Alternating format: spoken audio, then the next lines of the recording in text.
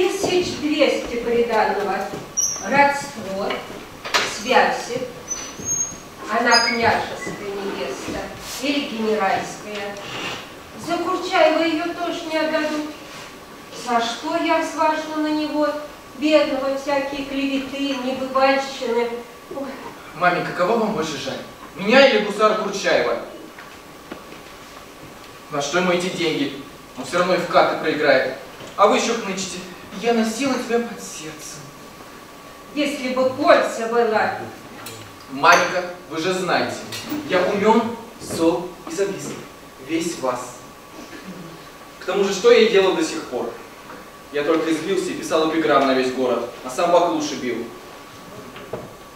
Нет, над, глуп, над глупыми людьми не надо смеяться. Нужно уметь пользоваться их слабостями. Конечно, здесь карьеру не построишь. Карьеру строят и дела делают в столице, а здесь разве что говорят. Но даже здесь можно добиться и хорошего места, и невестки. И с меня довольна. Чем сейчас люди выходят? Не все делами. Чаще разговором. Мы все любим поговорить. И чтобы в этой обширной говорении я не имел успеха, не может такого быть. Я сумею поделаться и к тузам, и найду себе покровительство. Вот увидите. Глупо их раздражать. Им нужно льстить грубо и беспардонно. Вот и секрет успеха. Я начну с неважных лиц, с кружка Турусины. Выжму из них все, что мне нужно. Затем заберусь и повыше. Ступайте, маменька, мы с вами еще потолкуем. Помоги тебе Бог. Эпиграмму в сторону. Этот род поэзии ничего не приносит автору, кроме вреда. Примемся за панигирики. Всю желчь, которая будет накипать на душе, я буду сбывать в этот дневник. А на устах останется только мед. Эта рукопись не предназначена для публики. Я один буду и автором, и читателем. Разве что со временем, когда укреплюсь на прочном фундаменте, сделаю из нее извлечение. Bonjour! Очень рад. Чему обязан? Мы за делом. Вот, рекомендую. Да знаю я его уже давно. Мне во что ж что-то не нравится, да. Это какому году, господа? У меня времени свободного немного, так что ну, говорите, в чем дело. Нет ли у вас стихов? Каких стихов? Вы явно не туда попали. И не морайте, пожалуйста, бумагу. Нам эпиграмм нужно. Я знаю, что у вас есть. Никаких нет. Ну, полного. Все знают. У вас на весь город написано. Вон он. Хочет сотрудником быть. Да-да. Юмористических газет. Да-да. Вот как. Да. А вы писали прежде. Писал. Что? Я, я все писал. И повести, романы, трагедии. Все писал. И... Ничего, не печатают нигде. И даже за даром не хотят печатать. Вот. Принялся за скандальчики написано. Опасно. Прибьют, пожалуй. А кому мне вообще писать-то? Я не знаю никого. А у вас, говорят, дневник есть какой-то, где вы всех по косточке разобрали. Ну так вот, давайте вот скорее Ну да, как же не дать. И идите, маменька, пишите. А какие тут деньги мы за это получили? И дневника никакого у меня нет. Разговаривайте. Видели его у вас? Ох, а мы бы его распечатали. Вот, видите? У него материала нет. Так дайте ему материал. Пусть его трудится. Да не морайте же вы бумагу. Каких-то петухов здесь рисуете. Ошибаетесь. Это не петух, а мой уважаемый дядюшка Нил Федосеевич Мамаев. Вот. И похоже, и хохол похож. А интересна он личность? Ну, Для меня, например. Очень интересный. Во-первых, он считает себя всех умнее и всех учит. Его хлебом не корми, только приди, совет попроси. Ну так вот, подпишись под петухом. И стой. Э, новейший самоучитель. Ну, ну. А это мы пойдем распечатаем. Нет, не надо. Все-таки дядя.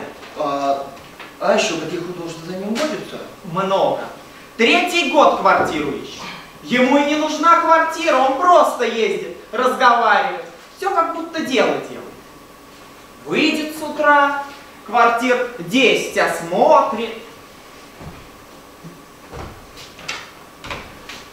Поговорит с хозяевами, с дворниками, потом поедет по лавкам, пробовать икру, балы. Там рассядется, в рассуждение пустится. Купцы не знают, как выжить-то его из лавки, а он доволен. Все-таки утро у него не пропало даром. Что-то не помню.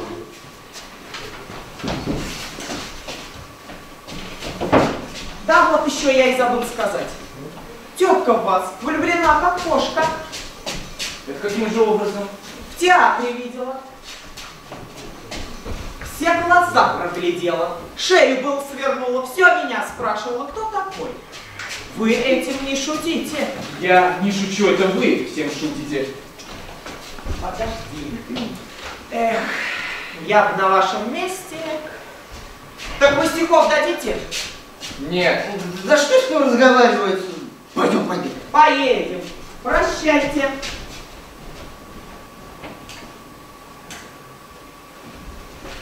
Маменька, идите сюда. Вот, смотрите, с кем нам нужно сойтись в первую очередь. Кто это? Это мой дядюшка Нил Федосеевич Мамаев. А кто рисовал? А, племянничек его, Курчаев. Так, эту картинку нужно спрятать на всякий случай. Вся беда в том, что Мамаев не любит родственников. У него человек 30 племянников. Он из них выбирает одного и в пользу него завещание пишет, остальным уж не показывайся. Вот сейчас его милость оказался Курчаев. А вот кабы тебе-то. Трудно, но попробовать стоит. Он ведь даже не подозревает о моем существовании. А хорошо бы садись. Во-первых, наследство, потом дома отличный. Родство, связи. А, вот еще одно обстоятельство. Я тетке понравился, Клеопатре Львовне. Вы это на всякий случай тоже запомните. Сейчас сблизиться с Мамаевым для меня это первое дело. Первый шаг на моем поприще. Дядя познакомит меня с Крутицким, затем с Городовым. Во-первых, это люди с влиянием, а во-вторых, близкие знакомые Турусиной. Мне бы только войти к ним в дом, а я уж женюсь непременно. Так, сынок, но первый-то шаг самый трудный. Успокойтесь, маменька, он уже сделан. Мамаев будет здесь. Как же это случилось? Здесь ничего еще не случилось. Мы все просчитали наперед. Мамаев любит смотреть квартиры. Именно на эту удочку мы его и поймали.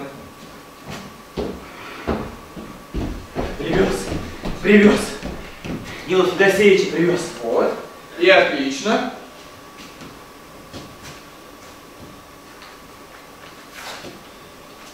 Получай.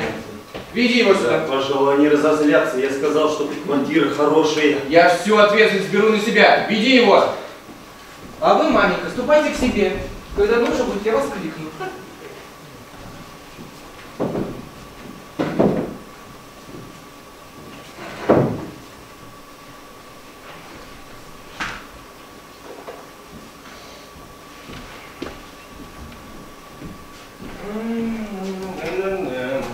Да.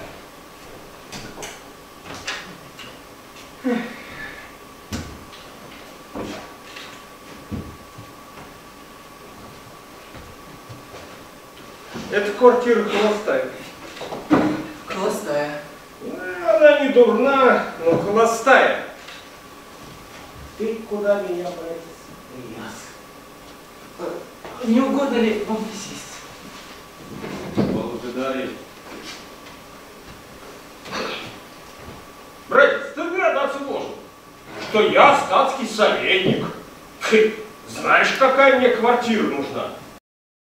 Барыня твоя, моя жена, приехала жить открыто. Ей гостиная нужна. И не одна. Где? Где здесь гостиная? Виноват. Виноват. Вот видишь, человек что-то пишет. Мы же ему, наверное, мешаем. Он не скажет из деликатности. А все ты виноват. Не броните его, это не он виноват, а я. Когда Да. он здесь на лестнице спрашивал квартиру, я указал ему на эту. Сказал, Вы, стало быть, хозяин этой квартиры. да. А почему же вы ее сдаете-то? Непосредством. Непосредственно. Подумай только непосредственно. А зачем нанимали-то, если непосредственно? А теперь поди в должишках запутались. Конечно, кому же приятно будет из такой-то квартиры в одну комнату переезжать. Приятно. Нет. Я хочу еще больше нанять. Как так? Еще больше нанять? То есть э, вот э, за эту платить нету средств, а нанять еще больше хотите? Ага. А какой у вас интерес? Никакого. По глупости. То есть как так? По глупости. Как? Очень просто. Ума недостаточно. Разве это не часто бывает? Нет, конечно, бывает, просто первый раз вижу человека, который сам про себя говорит, что он А ш- чего же мне дожидаться, когда другие скажут? Если уж не скроешь. Ну да, действительно, это скрыть довольно сложно. Вас должно быть учить Некому. Вот, а ведь есть учителя. Умные есть учителя, но никто не слушает. Нет, вот стариков-то он возьми. каждый так считает. Ой, я пожилой, значит умный. А когда молодежь слушать перестает, здесь что делать? Вот я вам случай расскажу. Иду дальше по улице, а мне навстречу бежит гимназист из гимназии домой. Ну, я его, соответственно, остановил. Хотел, знаете ли, ему поучение прочесть. Ну, чисто так, шутки ради. Дескать, из гимназии домой-то бегом бежишь, а из дома в гимназию еле-еле идешь, а надо-то наоборот. Другой, да, вот другой бы на его месте. Радовался, что ради него щенка столь солидная особа посреди улицы остановилась. А он мне что? Она говорит, нравоучение-то в гимназии надоели, а теперь я есть хочу. Отпустите меня! Мальчишка ты мне! На опасной дороге, мальчик. Да? А вот от чего? От чего нынче прислуга-то не хороша? От того, что свободна от обязательств. Его услышал поучение. Вот раньше помню. Я же всех своих подчиненных каждую мелочь ходил. Всех учил от мала и до велика. Часа два ему бывало. Нотации ты читаешь, до самых высших сфер мышления доберешься. А он стоит и отдувается. Одними вздохами зайдет. И ему польза, и мне благородных занятий. А сейчас? м? Не успеешь ему два раза метафизику прочитать, как он к тебе приходит за расчетом. Что говорит за наказание? Да, что за наказание? Это безнравственность. А ведь я же человек, ты не злой. Не злой, я же все больше словами. Вот у купцов, вы знаете, как э, за волосы берет рукой и качает, и качает, и качает. Так говорит лучше, хочет. А я все словами. Вот. Опять же не нравится. Да. Так вы, стало быть, глупы. Это нехорошо. А, нет, нет, нет. То есть, в принципе, да, ничего э, предусудительного в этом нет. Если у вас, скажем, есть э, пожилые опытные родственники, ну и знакомые. Том-то и дело, что никого нет. Есть мать. Ну, Да она еще глупее меня. да. Ваше положение незавидно, молодой человек. Я вам сочувствую. Еще говорят, дядя есть. Ну, так и... Все равно, что его нет. Как? Он меня не знает. Я его и знать не желаю. О, да. А, за это не похвалю, молодой человек, как есть, я похвалю. Э, Помилуйте, будь он бедный человек, я бы, кажется, ему руки целовал. А он человек богатый. К нему придешь за советом, он подумает, что за деньгами. Ведь как ему растолкуешь, что мне ничего от него не нужно? Что я только советы и жажду. Он, говорят, человек замечательного ума. Я готов целые дни и ночи, целые дни и ночи его слушать. А вы так глупый молодой человек, как говорите. Это временем, кажется, на меня озарение находит. А потом, потом опять. Большую частью времени я совсем не понимаю, что делаю. Вот, тут мне совет и нужен. А как уж как-то забыл. Ой, а чуть ли я и фамилию-то его не забыл. Ну как так, ну, ну,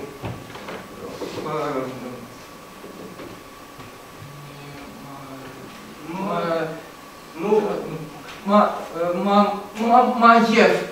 Мамаев, кажется. Да, Нил Федосеевич. а вы-то кто? Э, Я Глумов. Дмитрий Глумова сын. Так точно. Счастье мое, Мамаев, ты это я! Дядюшка! О, позвольте ваши руки. А, Впрочем, дядюшка, я слышал, вы не любите родственников. Вы не переживайте. Мы, может быть, так же далеки, как и прежде. Для меня достаточно того, что я видел и насладился беседой умного человека. Нет, нет, нет, встань, встань, встань, встань. Вот, э, тебе как надо будет э, посоветоваться, так ты сразу же и приходи. Да. Когда нужно, Да, как а мне постоянно нужно. Каждую минуту нужно. Да. Я чувствую, что я погибну без вашего руководительства. Вот, знаешь, вот сегодня же вечером прям и заходи. А, позвольте вам представить мою старуху. Она не Дарья, но очень добрая, очень добрая женщина. Маменька, идите сюда. Идите. Вот, смотрите. Счастливый случай привел к нам дядюшка Нил Федосеевича, которого мы так порывались видеть. Ой, да, батюшка-братец, я давно желала, а вот вы-то родных и знать не хотите. ну, Маменька, знаете, перестаньте. У дядюшки есть на то свои причины. Позвольте, батюшка, братец, поглядеть на вас. Ой, ой, Жорж, а ведь не похож. О, Маменька, перестаньте. Не похож.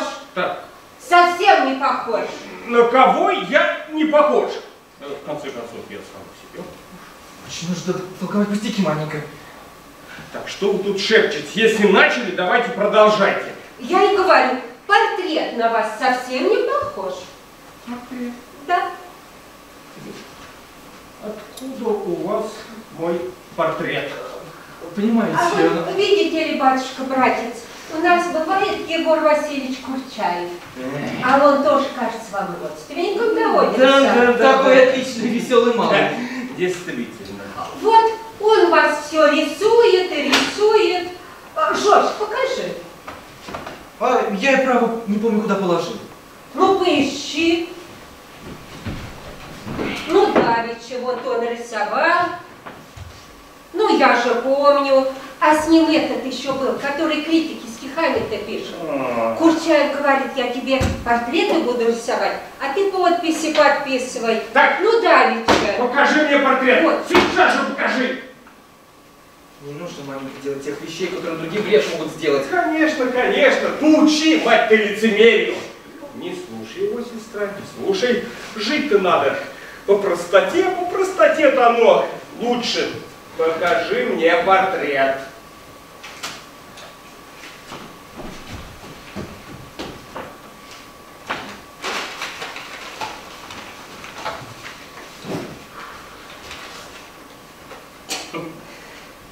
Племянничка, а ты дружи. Э, перестаньте, дядюшка, не похоже совсем.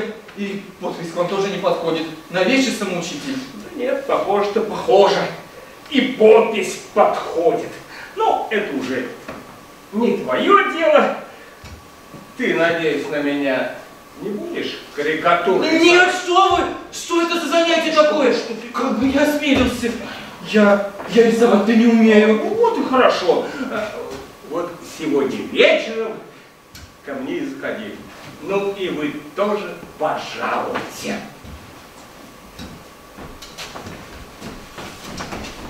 Молодец. Кажется, дело-то налаживается, а много еще труда. Жоржу-то будет.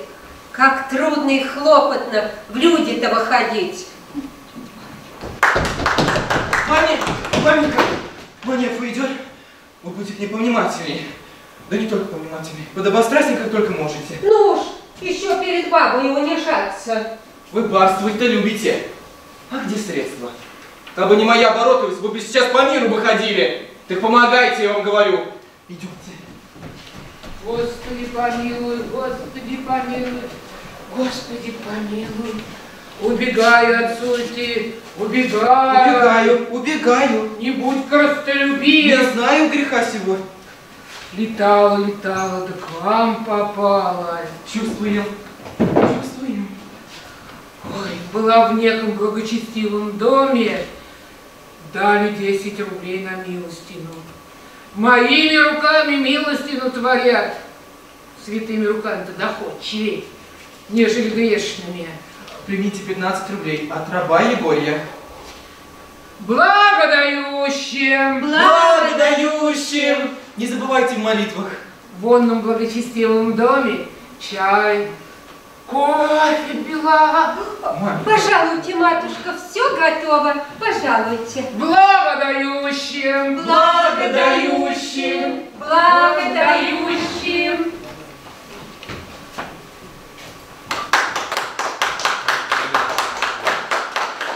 Записать!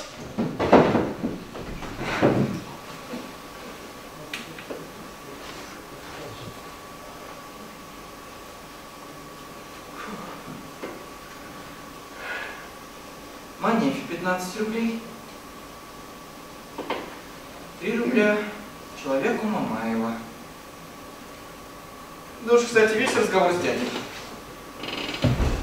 Послушайте-ка, послушайте. Был дядя здесь. Был.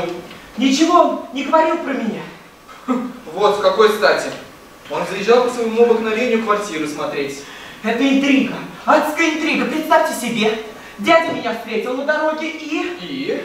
И не велел мне показываться ему на глаза, представьте. Интересно.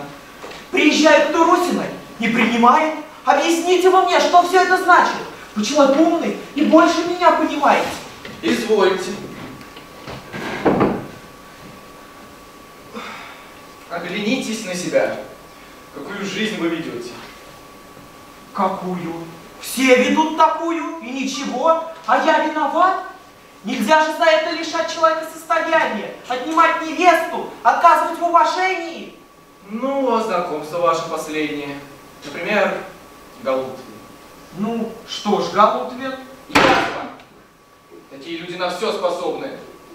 О, вот, вот вам объяснение. И зачем вы его давеча ко мне привели? Я на знакомство очень осторожно себя берегу. И я вас попрошу не посещать меня более. что вы, с ума сошли? Дядюшка вас удалил от себя, а я желаю этому во всех отношениях достойному человеку во всем подражать. А, теперь я, кажется, начинаю понимать. Слава Богу. Послушайте-ка вы, миленькой, а уж это не вы ли? Ну, если мои подозрения оправдаются, так вы берегитесь. Такие вещи даром не проходят.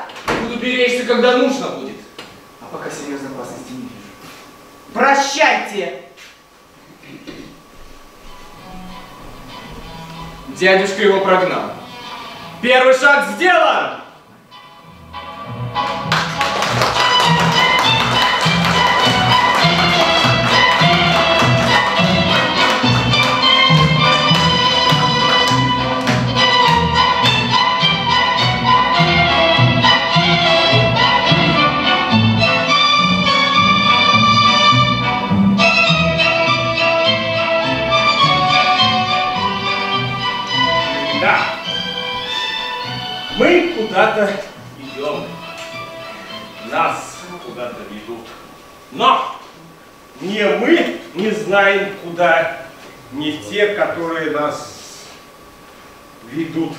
Тоже не знают, к чему все это приведет. А я на это все смотрю, как на легкомысленную пробу. Да. И ничего особо дурного не вижу. Наш век, век по преимуществу легкомысленный. Все молодо, неопытно. Дай то попробуй, это попробуй, Да. то переделаю. Хм, Это переменю. Переменять-то легко. Легко, Вот возьму и переверну всю мебель вверх ногами. Вот вам и перемена. А где же, я вас спрашиваю, вековая мудрость, вековая опытность, которая поставила эту мебель именно на ноги? Вот стоит лавочка, хорошо стоит, Хорошо, крепко. хорошо, хорошо, крепко, крепко, да. А вот дай ее попробую. Перевернуть. Ой, и перевернули. Да, перевернули. Вот и увидят. Ой, увидит ли, увидит ли? Да что вы мне говорите? Ну они увидят, так укажут. Есть же люди. А, Вся беда-то в том, радость моя, что умных людей, нас с вами, не слушают. Мы сами виноваты. Ну, Не умеем говорить, не умеем заявлять своих мнений. Кто пишет, кто кричит? Мальчишки. А мы лишь молчим да жалуемся, что нас не слушают. Писать надо, писать, только писать. Разве для того, чтобы писать, навык нужен. Сноровка какая-никакая. Ну, возьмите меня. Я тут говорить, конечно, мастер, хоть целый день. А вот так писать сяду, так... Вот значит, что получается. Ну, вот вас взять. Ну, какой вам писать? Я пишу, пишу, я много пишу. Для этого навык нужен не каждому дано. Э, Да, вот, кстати, нет ли у вас на примете молодого человека, образованного, скромного, ну, чтобы мог э, на бумаге излагать свои мысли, прожекты, ну и все остальное. Знаете, есть, есть. Именно такой и есть. А он не болтун, не из нынешних зубоскалов. Помилуйте, только скажите, не будет копры. Вот, вот у меня написан очень серьезный прожект, ну или как хотите назовите. Э, но ведь вы сами знаете, я человек старого образования. Излагаю я мысли старых, близким к стилю великого Ломоносова. Да, ну, старый стиль-то он э, посильнее был. Я согласен, но как хотите, ведь все-таки, если писать стилем старым, все-таки засмеют. Ну, да, да, да. Так вот, может ли он дать моему труду, ну, как это говорится-то, э, литературную отделку? Может, может, конечно же, может. Ну, так я заплачу ему, что следует. Что Бог с вами, обидите, за честь почтет. Что вы, буду я еще одолжаться-то? Ну, А кто он? а он-то, ну как, э, вот это-то, вот, э, э,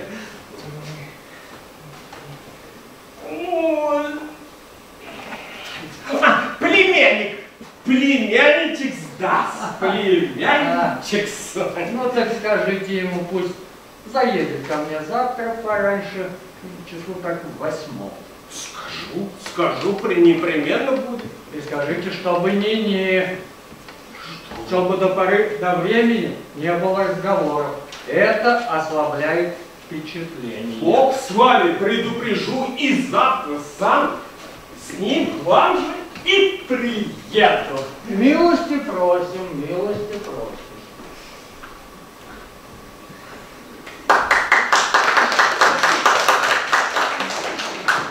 Молод, хорош собой, образован, мил. Чтобы заметным, ой, ой, чтобы заметным-то быть, нужно ум большой. Обыкновенным людям трудно, ох, как трудно, Клеопатра Львовна. Но вы к сыну несправедливы. У него очень довольно ума. Да и нет особой надобности в большом уме. Довольно и того, что он молод и хорош собой.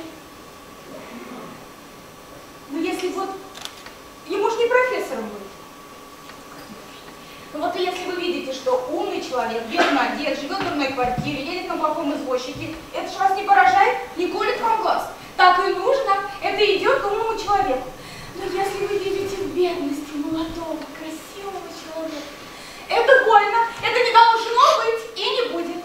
Ой, какое у вас сердце ангельское, ангельское. Мы этого не допустим. Мы, женщины, поднимем на ноги мужей, знакомых, все власти. Мы его устроим. Надо бы, чтобы ничто не мешало бы любоваться ним. Вот как бы все так думали. Все. Мы вообще должны сочувствовать бедным людям. Это наш долг, обязанность. Тут и разговаривать нечего. Но едва ли несете что-нибудь в сердце видим бедности красивого молодого человека. Но кроме того, бедность убивает развязность. Как-то отнимает, принижает этот победный вид.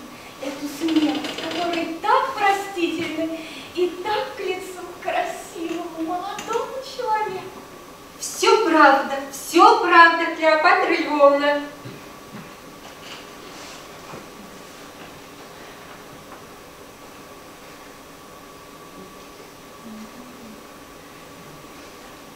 Ой. Немножко. Скажите мне о Жорже. Ой, что о Жорже?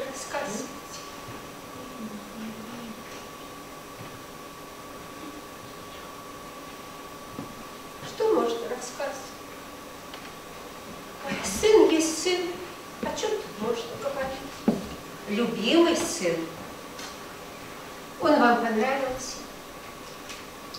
Да я не знаю. Видала я его тут недавно в театре. Да. Ну, а пойдемте в сад. С удовольствием.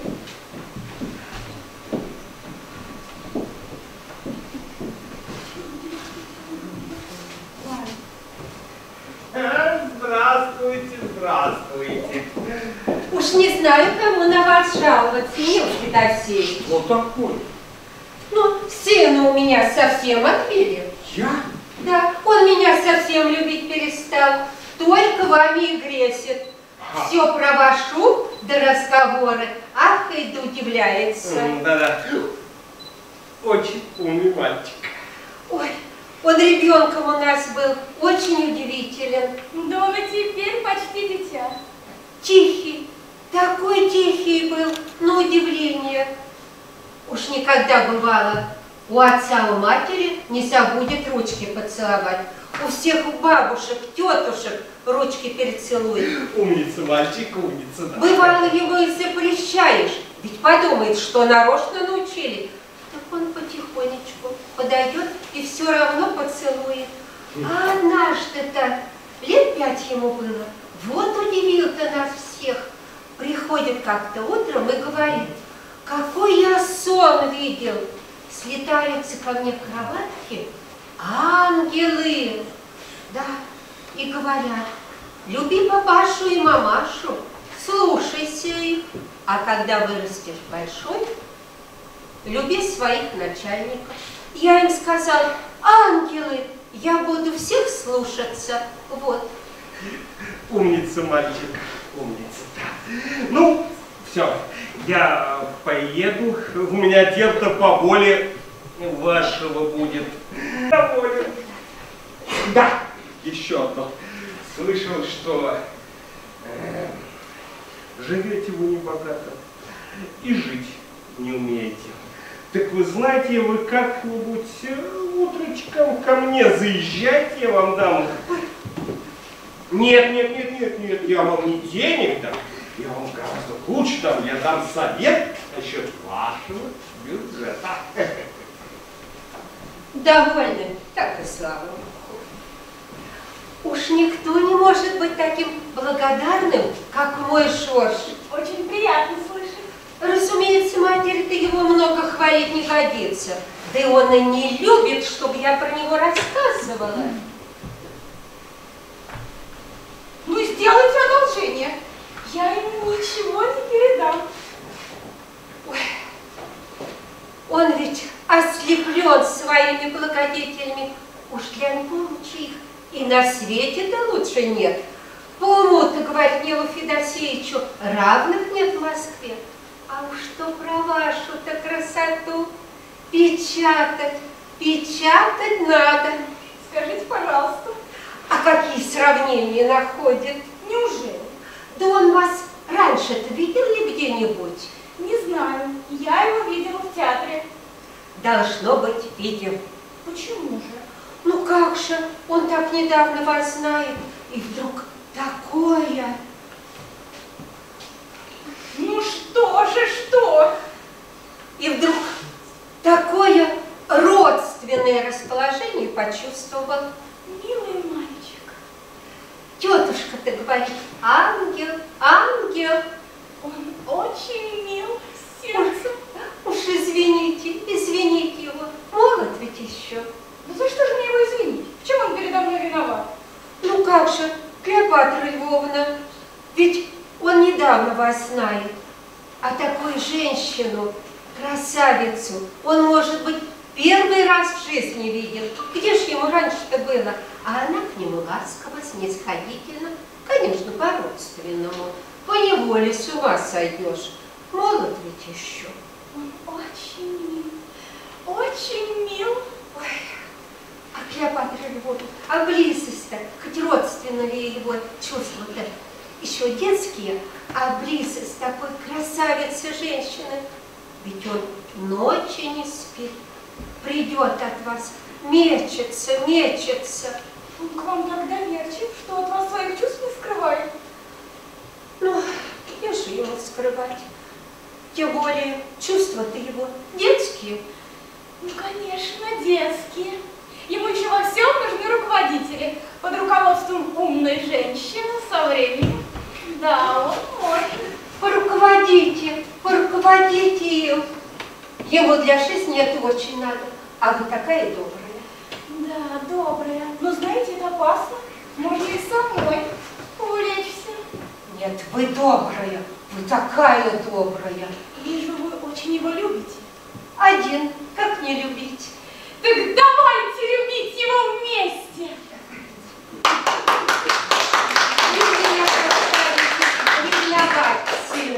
Ведь он счастье нашел в вашем семействе.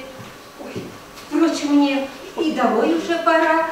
Вы не сердитесь на меня, с мою болтовню-то. И не выдавайте меня сыну-то.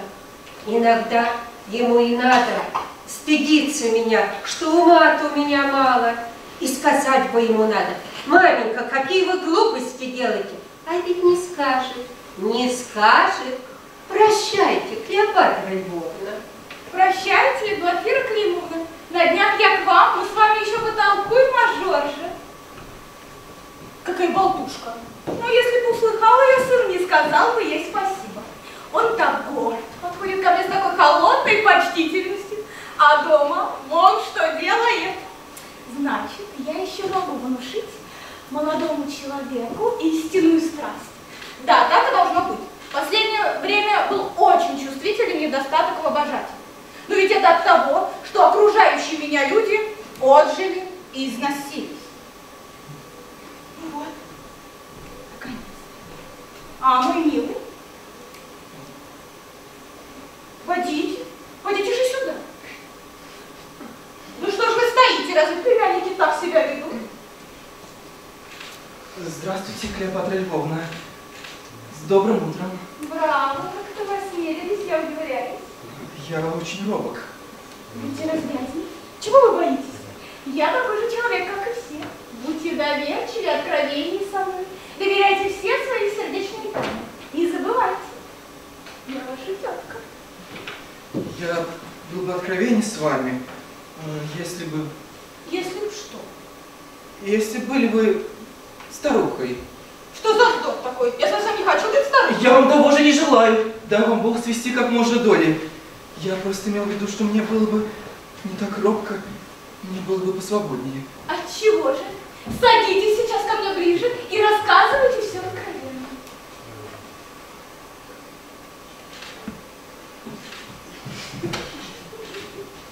Отчего вам было бы свободнее, если бы я была старухой? Ну, понимаете, у молодой женщины есть свои дела и свои увлечения. Когда же ей заботиться о бедных родственниках? У старухи только и дело. Отчего? Молодая не может заботиться о родных? Может, но просить ее совестно. Совестно надоедать. У нее на уме забавы, развлечения. А здесь лишь скучное лицо племянника. Вечно нытье и просьбы. А для старухи это было бы даже удовольствием. Она бы ездила, хлопотала. Это было, было бы для нее и занятие от скуки, и хорошее дело, которым она могла похвастаться. Ну, а если я была старухой, о чем бы вы меня попросили? Да вы же не старуха, а напротив, очень молодая женщина. Меня любите. Все равно, все равно, говорите. Не все равно. Вот я знаю, что вам достаточно сказать одно слово Ивану Ивановичу, и у меня будет хорошее место. Да, я думаю, будет довольно одного моего слова. я не буду вас беспокоить этой просьбой. Почему же? Потому что это было бы насилие. Он ведь вами так очарован. Вы думаете? Конечно. Он не смеет вам ни в чем отказать. Заставлять вас просить, это все равно, что дать ему взятку. Все это вздор, фантазии. Так вы не желаете, чтобы я за вас просила? Решительно не желаю. И я не хочу быть перед вами в долгах. Чем я могу вам заплатить за это? А старухи, вы чем заплатите? Старухи?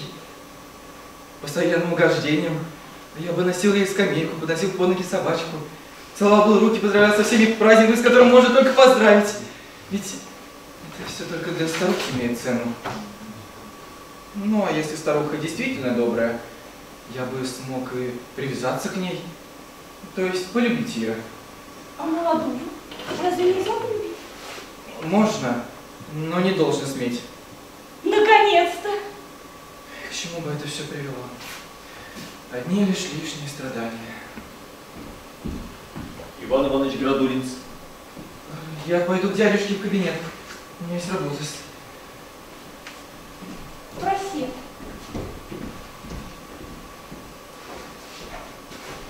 Имею честь представиться. Иван Иванович Градулин. Очень мило с вашей стороны, что вы не забыли меня заброшенную и покинутую.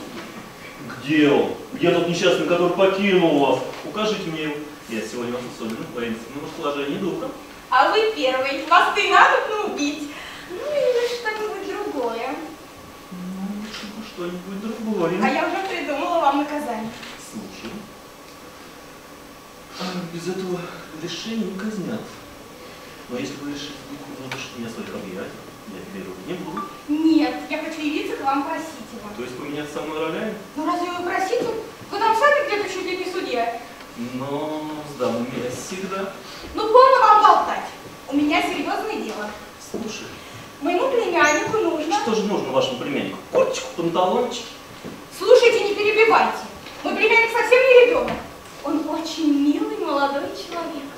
Очень хорош собой, умен, образован. Тем лучше для него, но хуже для меня. Ему нужно место. Какой прикажете? Разумеется, хорошее. У него отличные способности. Отличные способности. Жаль. С отличными способностями. Теперь некуда деться. Он останется лишним. Послушайте, вы меня выведете из терпения, мы с вами поссоримся. Говорите, есть ли у вас в виду место? Для обыкновенного смертного найдется. Вот прекрасно. Нам люди нужны. А, позвольте хотя бы одним глазком взглянуть на этот феномен. Я тогда определиться не скажу, на что он способен и куда можно его рекомендовать. Егор Дмитриевич Жорж, подите сюда. Я вас оставлю с ним на некоторое время. Вы потом загляните ко мне, я вас подожду в гостиной. Представляю вам моего племянника, Егор Дмитриевич Гуров. Иван Иванович хочет своим книгам.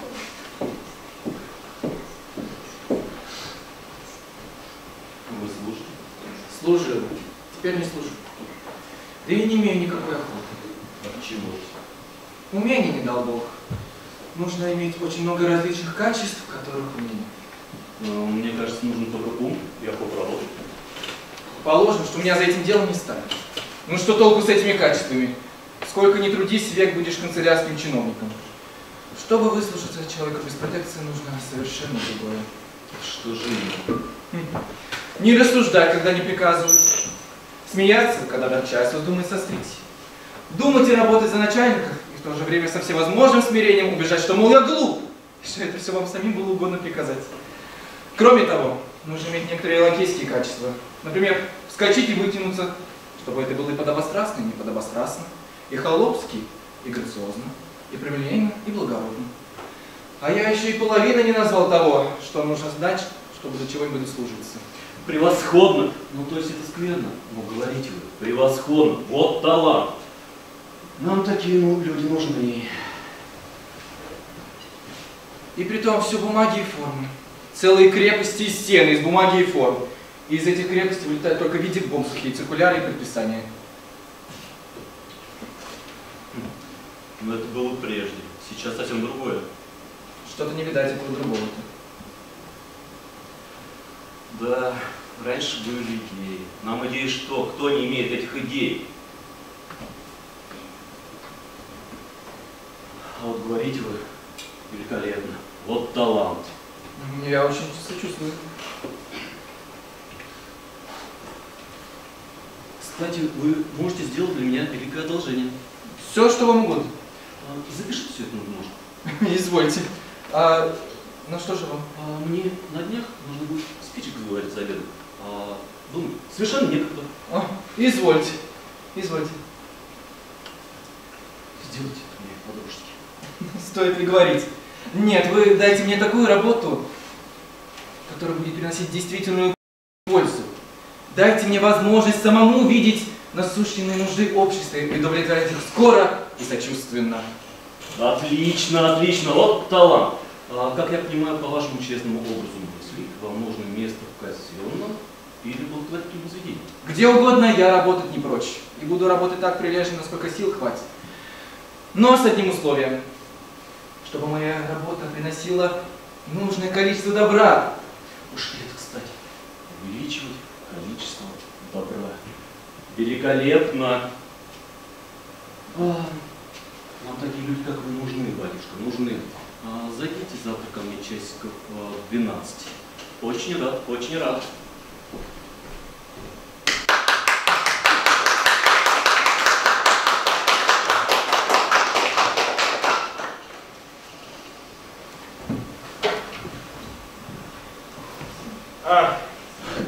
Здесь? Подойди сюда. Ты мне скажи, ты в каких отношениях? Нет, потом. Ко мне тут давеча заезжал Крутицкий ну, по делу. Он там написал что-то. Ну, скорее всего, какую-нибудь глупость. Да. Но ему надо бы текст обделать. Обделать? А, ну, выправить. Я посоветовал тебя. Меня? Да. Смотри, значит, как- когда к нему приедешь, ты это, польсти ему немного. Вот, дядюшка, чему вы меня учите? Льстить, конечно, нехорошо. А вот немного польстить полезно. Похвали так что-нибудь, ну, с пятого на десятое. М, Старику это приятно будет. Он написал, скорее всего, какую-нибудь глупость, ругать-то мы его будем. А ты пока еще молод. Похвали, похвали. Да. Он нам еще пригодится. Еще один вопрос. Ты, ты в каких отношениях поставил себя в центре? Ну что вы, я человек благовоспитанный. Меня учтивости учить не надо. Ты глупо и глупо. Она женщина молодая, красивая, нужна ей твоя учтивость. Дядюшка, Врага, я что тебе нажить хочешь. Я не понимаю. Не понимаю. Не понимаю. Учись. Слава Богу, пока есть круг. Ты пойми. Ты, конечно, хоть и родня, ну, так, седьмая вода на киселе. Но, с другой стороны, у тебя же преимущество больше перед остальными. Можешь лишний раз э, как бы по забывчивости поцеловать? Ну, глазками там изобрази что-нибудь. Ну, думаю, Вон вам, дядюшка, что вы? Господи, ну там зеркало, стой и учись. Вздохни лишний раз томно. Им это нравится. Покорнейше благодарю вас. Дядюшка, ты пойми, пойми. Это же и мне легче будет. Она же у меня красивая, молодая, характера сангвистического. Голова у нее горячая. Не дай бог, попадется какой-нибудь, смотри, вообще каторжный. А тут, дальше, ты, не угодно ли вам свой проверенный человек? Понял? И волки целы. И волки сыты, и овцы целы. Ума у вас, дядюшка, ума. И вот еще одно тонкое обстоятельство. А, Вы познакомьте меня с Турусиной. А там-то я открыто буду ухаживать за племянницей. Даже если вам угодно, для вас посватаюсь. Тогда действительно будут и овцы целые, и волки сыты. Молодец, молодец, да, правильно говоришь, правильно. Познакомлю. А Клеопатре Львовне мы, разумеется, ничего не скажем про Турусину, ни слова.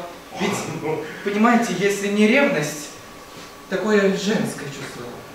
Понимаю, понимаю, конечно, ни слова и даже заикаться не будем. Ну так, когда же мы к Турусиной? Ну, завтра и поедем. Да. Теперь, надеюсь, ты знаешь, что тебе делать. А Что делать? Удивляться уму вашему. Через две недели он будет определен. Через две недели я вас поцелую. Иван Иванович, здравствуйте. А я сегодня к вам заезжал. Хотел вам дать совет по трудному делу. Э, Извините, мне надо сесть Нет, что, что вы, я сейчас же с вами вместе. Целуйте ручку, ваше дело улажено. Я вас не просил. Нужды нет, я сама догадалась. Благодарю вас. Куда вы? Домой. Я очень счастлив. Пойду поделюсь своей радостью с матушкой. Вы счастливы? Не верю. Счастлив? Насколько это возможно. Ну, значит, не совсем, значит, вы еще не всего достигли. Нет, что вы, всего. Ну, что я мог надеяться? Нет, вы говорите прямо, всего ли вы достигли? Ну, чего же мне еще? Я получу место. Не верю, не верю. Вы хотите в таких молодых годах показать себя материалистом? Хотите уверить меня, что думаете только о службе и о деньгах?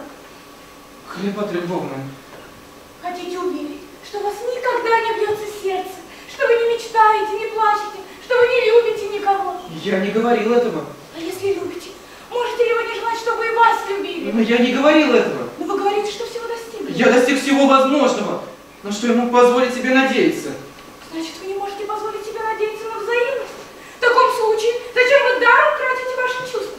Ведь это перлы души. Говорите, кто это жестокое? Но это пытка, Клеопатра Львовна. Говорите, негодный, говорите сейчас. Вы не имеете права прибегать к таким Я средствам. знаю, что вы любите.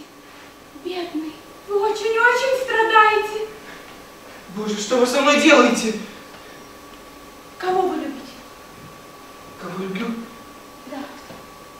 Вас! Карайте меня за мою дерзость, но я люблю вас! Запретите мне любоваться вами! За- Запретите мне смотреть на вас! Или еще хуже, заставьте меня быть почтительным. Но не сердитесь на меня! Вы сами во всем виноваты. Если бы вы не были так очаровательны, так снисходительны, я, быть может, удержал свою страсть в пределах приличия, чего бы мне это не стоило. Вы, вы ангел красоты, вы красавица. Из меня, благоразумного человека, вы сделали бешеного сумасброда. Простите меня. Я вас прощаю. Ну,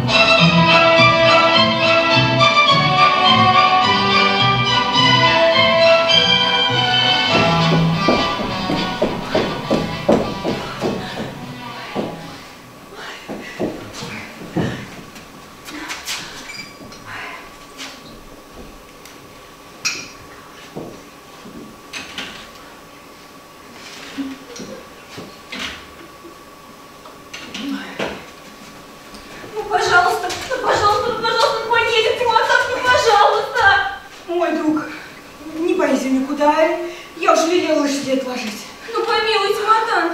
Ну, ну, на что же это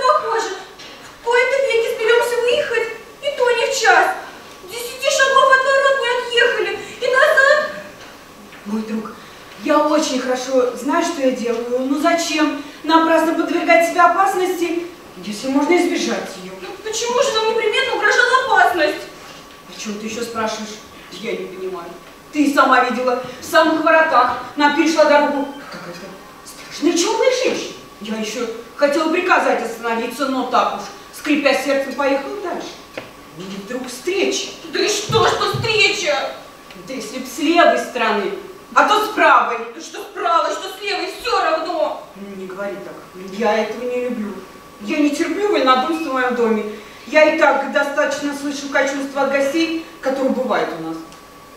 Ну, чужим я запретить не могу, а тебе запрещаю. Мы должны беречь свою жизнь. Конечно. Слишком часто заботиться о себе – грех. Но беречь свою жизнь мы обязаны. Мало мы видим несчастных случаев. Сломается экипаж, разобьют лошади, да кучер напьется пьяный и завезет в канаву. Провидение печется о людях, если тебе прямо говорит, не езди туда. Ты подаешь себе опасности, кто же будет виноват, послушаешь благого совета и сломишь себе голову. Но ведь нам-то никто не говорил не езди. Разве для этого нужны слова? Дурная встреча и вот красноречивее всяких слов. Еще если была какая необходимость, вот уж нечего делать. А то ехать, да бог знает зачем, что провести весь вечер, э, весь вечер в пустых разговорах, э, пересудах о ближнем.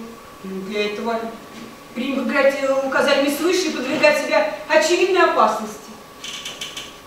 А, я знаю, зачем ты хочешь ехать туда. Ты думаешь встретить там Курчаева, этого нераскаянного безбожника, которого я к себе пускать, кстати, не велю. Я не понимаю, Матан, чем вам не понравился Курчаев? Да как он мне может нравиться? Он смеется в моем присутствии над самыми священными вещами. Когда же, Матан, когда? Да всегда. Постоянно. Он смеется над моими страницами, над юродивыми. Но вы же говорите, что он смеется над священными вещами. Ну да, я ему как-то говорю. Посмотрите, у моей матреши уж от святости лицо начинает светиться. А он говорит, это не от святости, а от жиру. Вот уж этого вот я ему никогда в жизни не прощу. Я редко ошибаюсь в людях. Вот и оказалось, что он за человек. Я, кстати, на днях два письма получила.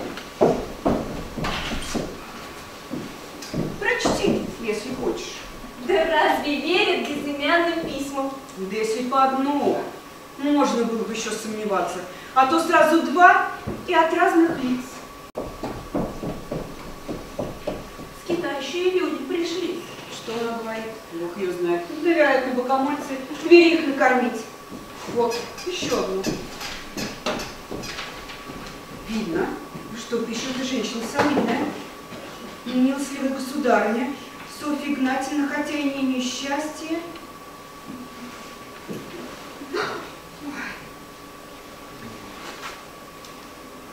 Боже мой, вот слушай. Выбор вами такого человека, как Егор Васильевич Курчаев, заставляет меня заранее проливать слезы об участи бедной Машеньки, ну и так далее. Удивительно. Я не знаю, что и думать об этом. Ты и дальше станешь спорить со мной. А впрочем, мой друг, если ты желаешь, то выходи за меня. Я не хочу, чтобы меня считали тираном, но только ты знай, что ты мне этим не огорчаешь. И что едва ли ты будешь жаловаться, если я тебе Не дадите денег? и самое ты главное благословение. Не бойтесь, Матан.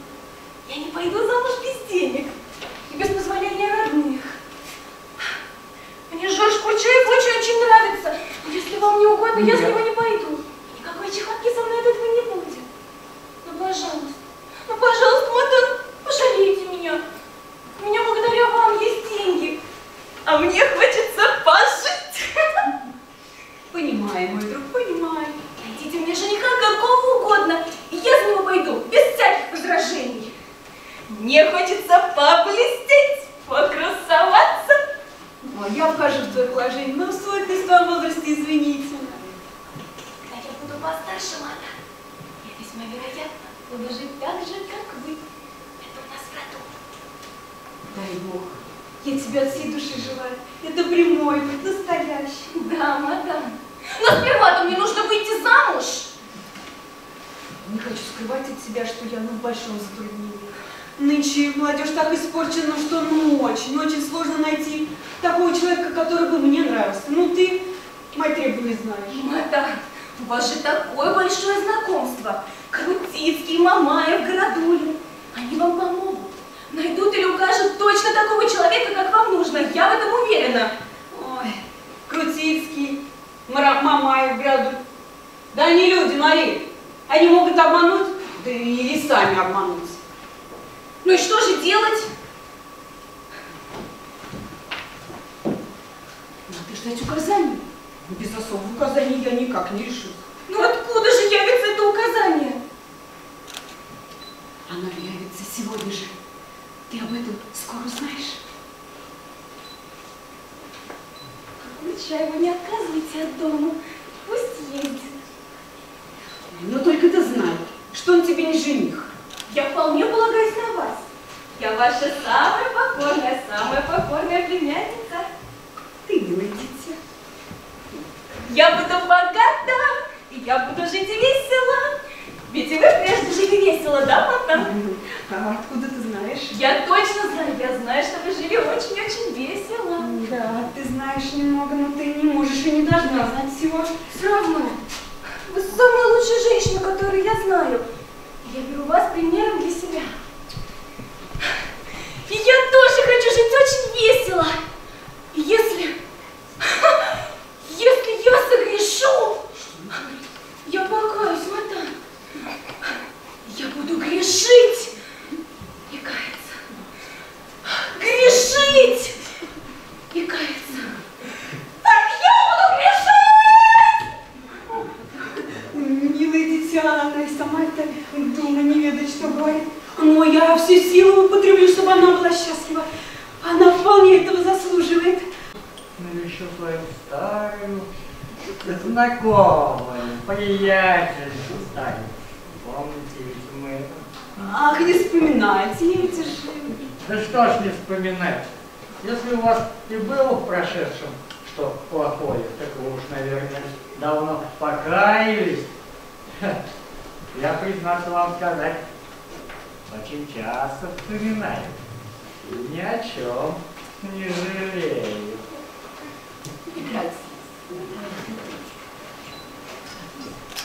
Сударня, уродливый пришел. Что такое? Как тебе не стыдно? Какой уродливый, юродивый. Бери его накормить. Как глупые эти люди. Самое обыкновенно сказать не умеют. Ну, я бы не сказал, что в нынешнее время юродивые бывают самые обыкновенные. Ну, если не считать вас, вряд ли где еще встретишь. Ну, возвращаясь к нашему прежнему разговору, я хотел сказать, что когда вы вели другой образ жизни, вы были здоровее. Здравее, здравее. Здравее телом, но не душой. Ну, это я не знаю, это не мое дело. Я хотел сказать, вы были здоровее. Вы еще довольно молоды. Там еще можно пожить как следует. Ну, я и живу как следует. Ну, то есть рано бы ханжить. Не Он и странный, странный человек. Сударыня, странный человек пришел. Откуда он, ты не спрашивала? Говорит из стран неведомых. Принять его и посадить за стол вместе с теми. Ой, сударыня, вместе они его... Ой, да поди, поди. Вы у этих, что из стран неведомых приходят. Хоть бы в паспорте велели спрашивать. Ну зачем? А затем, что так и до беды недалеко.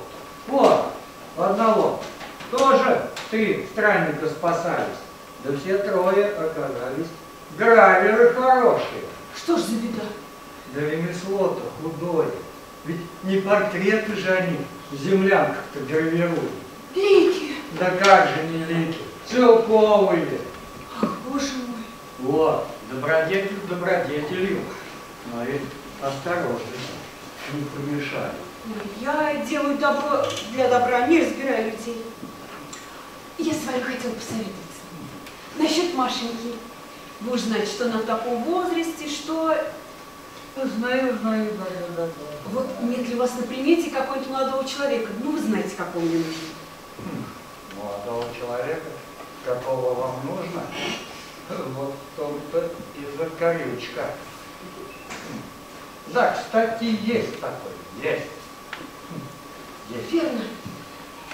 Молодой, образованный, дворянин, может сделать отличную карьеру. Его мне рекоменда- рекомендовали для некоторых занятий. Далеко пойдет, далеко, я вам говорю. Ну, а кто он такой? Ах да, он же мне адрес оставил. Вот так был. Он мне уже не нужен. А, вот. Егор Дмитриевич Глумов. Вот возьмите, может быть, и пригодится. Ой, благодарю. Да какая благодарность, что наш дом.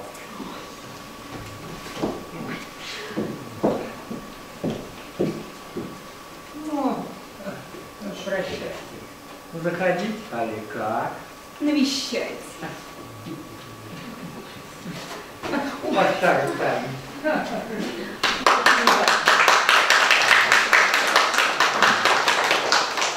Вот и старый человек, а как легкомысленный. А все-таки надо знать об этом Егоре Дмитриевиче Глумове. Господин Городули. Проси.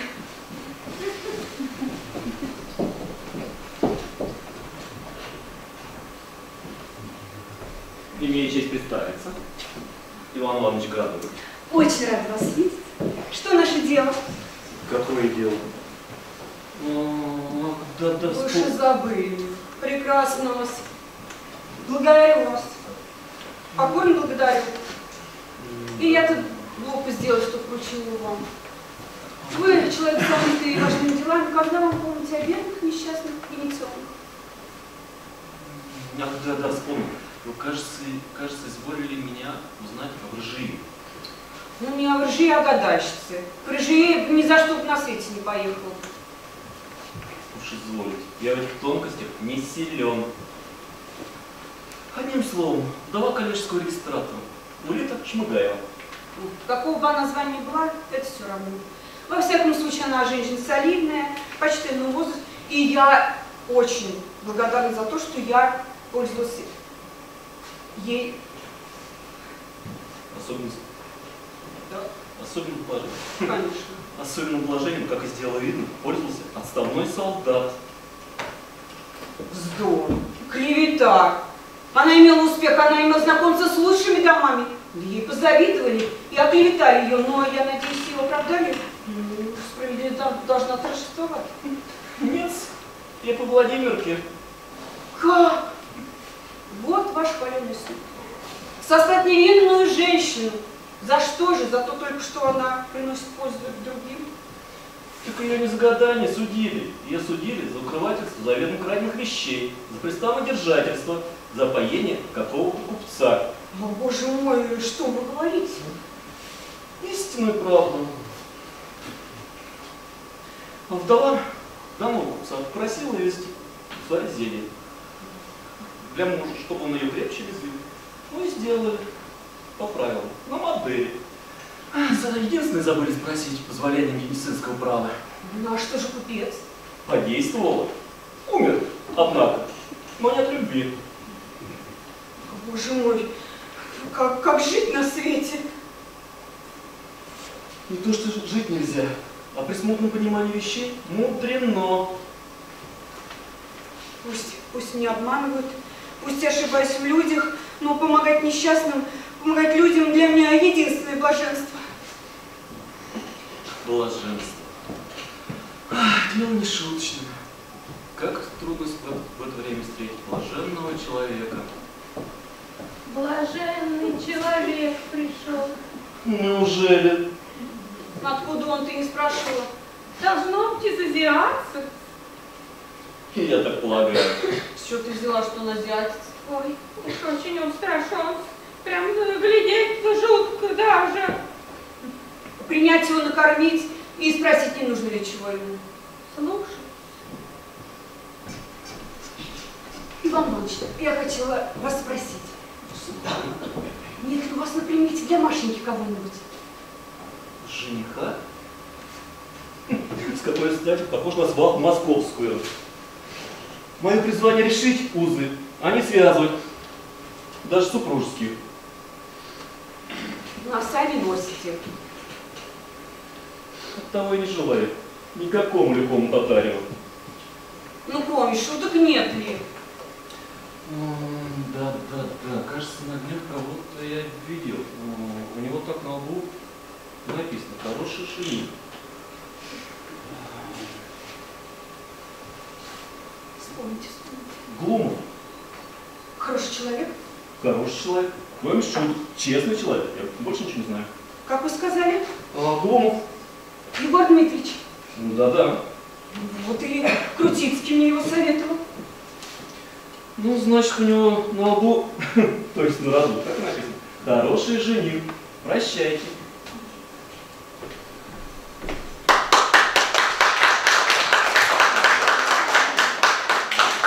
Это забыл, в который раз сегодня слышу имя этого человека. И все-таки я не доверяю хоть и Крутицкому, и Градулину, но все-таки что-то здесь да есть. Если его советуют люди совершенно противоположных убеждений.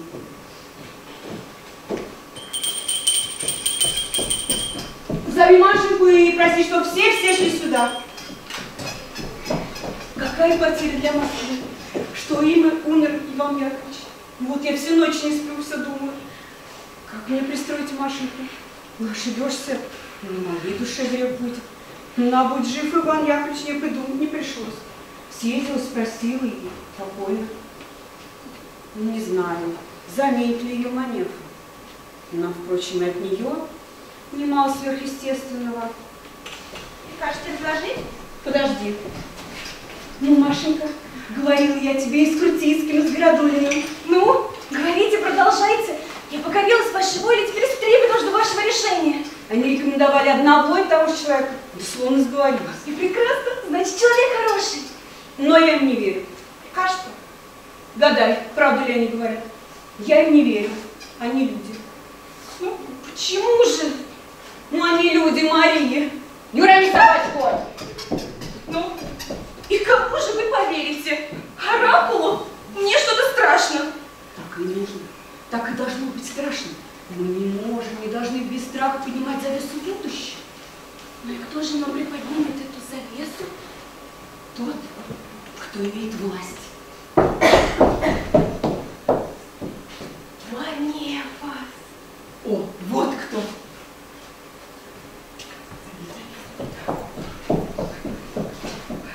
Милости просим, пожалуйте. И то иду.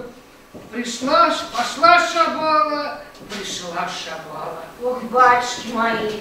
Молчи, молчи. Премудрость. Пришла и села, как вашня.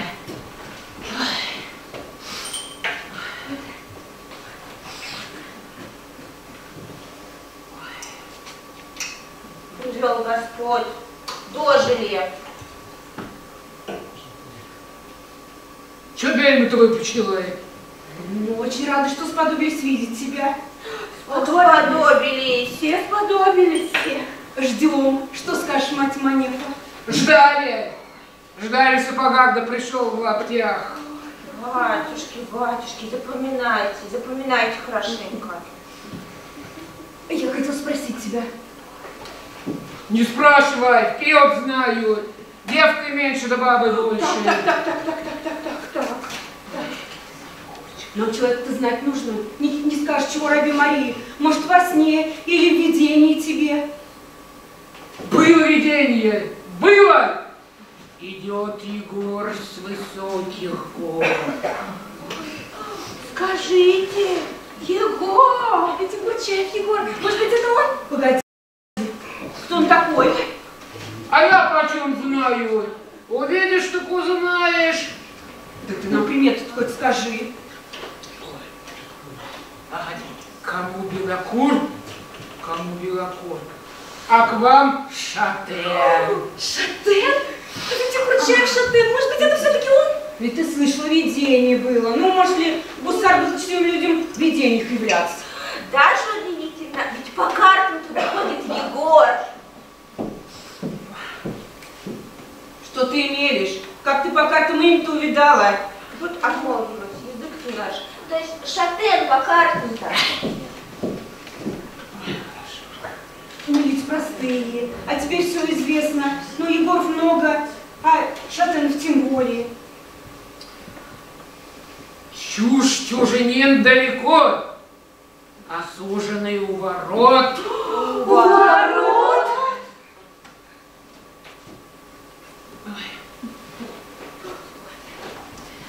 Срежайся, собирайся, гости будут! Когда? Сейчас, в сей миг.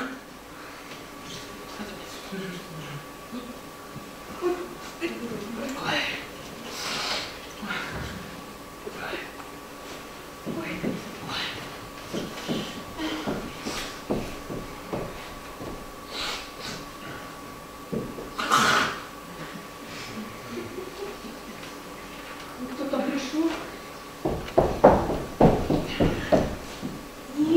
Нил Федосеевич, мамай. Один? А с ним барин молодой, весь шатен. Будем ли живы? Ну, Машенька, услышаны мои молитвы. Ты так необыкновенно, Матан. Я все прямо-таки дрожу. Иди к себе, ты позже выйдешь, успокойся. Ой, конец всему делу, венец! Ой, Под руки ее и чаю, и чаю. чай отчаянные. Ну и чего ко мне только нужно. У церкви стояла корвета. А мы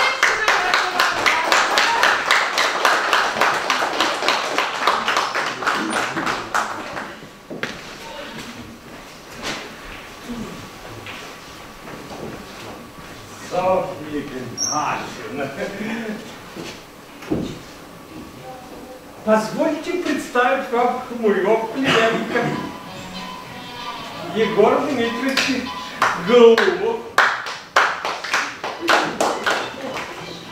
Прошу вас, любить его и жаловать.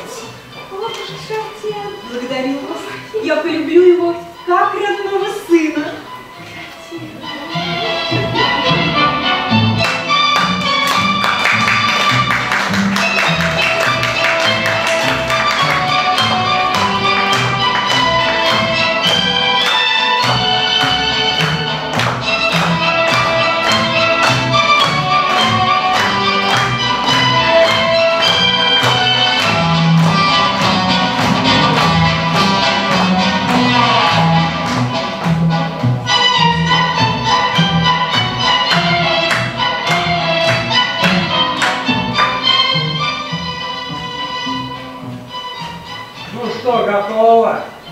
Готово, ваше превосходительство.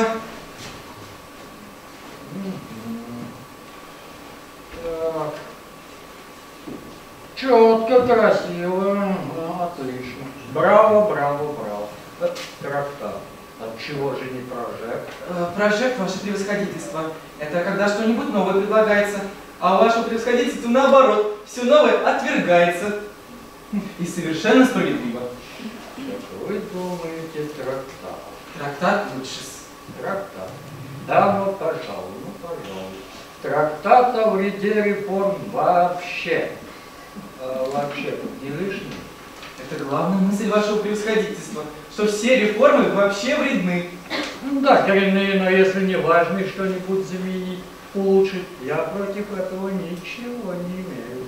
В таком случае это будут не реформы, а поправки или починки. Трактат. Хм. Так, пойдем дальше. Артикул первый. Всякая реформа вредна уже по своей сущности. Что заключает в себе реформа? Реформа заключает в себе два действия. Первое. Отмену старого и поставление на место оного чего-либо нового. Какое сил действий вредно. И то, и другое одинаково. Отметая старое, мы даем простор опасной пытливости ума проникать в причины, почему то или другое отметается, и составлять таковые умозаключения, такое-то учреждение отметается, значит оно непригодно. А сего быть не должно, ибо сим возбуждается свобода мысли и делается как бы вызов обсуждать то, что обсуждению не. Это складно, Надеюсь, будет понятно для всякого, так сказать, популярного. Мудрено излагать софизмы, а непровержимые истины Хм, совершенно так. Вы думаете, что это неопровержимые истины, да? совершенно убежден ваше превосходительство. А что они тебе стул ты не ставят? Э, Ничего, я постою. Ну да, конечно, нельзя всякому дозволить, а то, пожалуй, рассядется там магазинщик со счетом или портной там. ну. Я должен буду просить прощения, ваше превосходительство. Прощение? Ну что такое, мой любезный? Некоторые слова и выражения в вашем трактате оставлены мной без всякого изменения. А почему? Слав современный язык для выражения всей грациозности вашей мысли. Ну так что же у меня там в 25-м артикле? Артикул 25. Увеличение оклада в присутственных местах, если почему-либо такое потребуется. Должно быть произведено с крайней осмотрительностью, и то только председателем и членом присутствия, а отнюдь не младшим чиновником. Увеличение окладов старшим может быть произведено на тот конец, дабы сии наружным блеском поддерживали величие власти, которое должно быть ей присуще. Подчиненный же, сытый и довольный, получает, его, э, получает э, несвойственное его положение осанистость и самоуважение, тогда как для успешного и стройного течения дел подчиненный должен быть вечно робок и трепетен. Да, верно, верно. Вот слово трепетен, ваше превосходительство, меня очаровало совершенно. Ты что, куришь, что ли? Ну так кури спички на камине. Я не курю. Впрочем, как прикажете. Да вот еще мне-то какое дело. Дядя не видел твоей работы? Э, Не, что как бы я осмелился. Ну то-то же. Он только говорит, что он умный. А ведь он болван совершенный. Не смею спорить с вашим превосходительством. Он только других учат. А сам попробуй-ка написать-то. О, вот мы и увидим. А жена? Тоже дура замечательная. И за нее не заступлюсь. И как ты с ними уживаешься? Не понимаю. Нужда, ваше превосходительство. Ты что, служишь, что ли? Поступаю. По протекции тетушки Иван Иванович Градулин обещал достать место. Ну вот еще. Нашли человека. Определит он тебя. Ха. Все эти городулинские-то места скоро закроются. Ты ищи прочного места-то. Он у нас считается человеком опасным. Я не, про, не по новому учреждению. Да? А я уж думал. Ну что ж, поступай. Без службы-то оно, э, пожалуй, болтаться ты хуже. Потом, если переедешь в Петербург, я могу тебе письма дать. Там служить-то виднее. У тебя прошлое-то хорошее. За те- те- тебя можно рекомендовать-то? Я ленив был учиться, ваше превосходительство. Ну что ж, это не важно. Очень-то заучишься, так оно, пожалуй, и хуже. Нет ничего важнее. Мне совестно признаться перед вашим превосходительством. Да что такое? Ты уж говори лучше прямо. С молодости увлечение. В студенческой жизни. Только я больше старых обычаев придерживался. Каких старых обычаев? Ну, то есть вел себя не как нынешние студенты. А как же? А как же ты говорил? Кутил ваше превосходительство. О, и только-то. И все, больше ничего. Храни меня Бог. Что ж, это даже хорошо. Так и должно быть. В молодых летах надо. Пи, кути. Чего тут стыдиться-то? Ведь ты не барышня. Ты мне с первого раза понравился. Нам такие люди нужны. Ну уж я замолвил за тебя в одном доме словечко. Мне сказывала Софья Игнатьевна, я и слова не нахожу благодарить ваше превосходительство. Ты присватался, что ли? Там ведь куш очень хороший. Я на деньги глуп, ваше превосходительство. Девушка очень хороша. Ангел. Ну, я не умею тебе сказать. Все они, брат, одинаковы. Вот знаю тетка, тетка, ханжа. Однако, мой милый, сколько же я тебе должен заплатить? Что вы, ваше превосходительство, не обижайте. Это ты меня не обижай. Не обижайте ваше превосходительство. Это ты меня не обижай. Если уж и хотите отблагодарить, так осчастливьте. А что такое? В чем дело? Брак такое дело великое, такой важный шаг в жизни. Вы не откажитесь. Благословение такого высокодобродетельного лица будет служить залогом. Ведь ведь даже для будущих детей. Посажу мясы, что ли? Что-то я не пойму. Осчастливьте ваше превосходительство. Изволь, изволь. Ты бы так и говорил, оно дело-то не мудреное.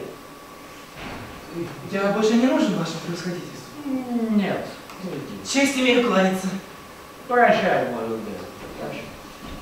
И что уж бронят молодежь, ведь есть же среди них вот и с сердцем, ах, и с умом. Он стив, да как будто немного подлец. Ну вот, опериться, и дай бог, все пройдет. Да. Нет бы, чтобы с молодыми дамами полюбезничать. А то сидит в своем кабинете. Ой, да где уж мне? Был конь, да уездил. Пора и молодым дорогу дать. Ой, нынче молодежь-то хуже стариков. Что, жалуетесь? А разве не правда? Правда, правда. Никакой сообразительности, никаких чувств. Это от того, что на театре трагедии не дают. Молилась ли ты на ночь, э, как ее там, да бог с ней. Но ваш родственничек мне очень понравился, милый молодой человек. Он, не правда ли, очень мил? Ну да, ну да, уж вы его балуете. Чем балуем? Как же, как же. А, Жените, какую невесту-то нашли? Какую?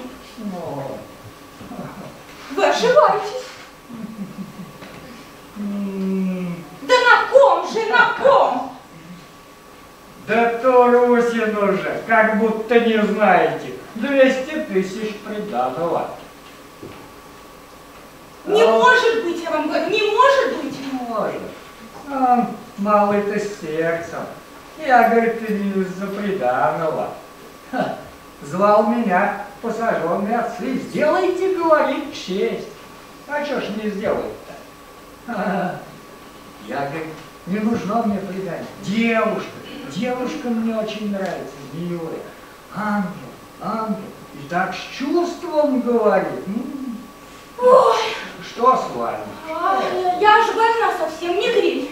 Скажите вашей жене, что я хотела ее подождать, да не могу. Очень дурно себя чувствую. Да что вы, вы выглядите такой здоровый. Прощайте, прощайте. И что ее кольнуло? Вот ведь с бабами хуже, чем дивизии команды.